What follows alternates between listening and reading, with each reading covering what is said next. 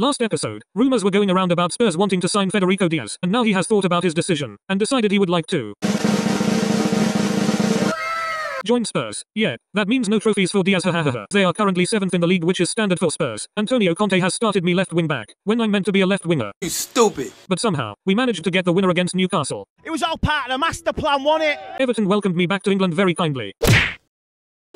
I managed to score the winner against Atletico Madrid to put Spurs into the quarter-finals of the Europa League, and then we had Porto who we absolutely smashed 6-1 on aggregate, but I was only coming off the bench for all of these games. And then suddenly, I have been told that they already want me gone as well. No! Played against AC Milan, and we managed to beat them 4-0 on aggregate within the Premier League. We finished 6th. Our opponents for the Europa League final was RB Leipzig, and we were starting for once in my life hahaha. Openda managed to get the first goal against RB Leipzig in the final, and then Bissouma scored the winner in order for us to win the Europa League, and make Spurs somehow finally win an actual trophy hahaha. Then loads of teams wanted us, but who do I choose to sign for? Do I sign for? Bayern, Chelsea, Newcastle, Real Madrid, or Barcelona?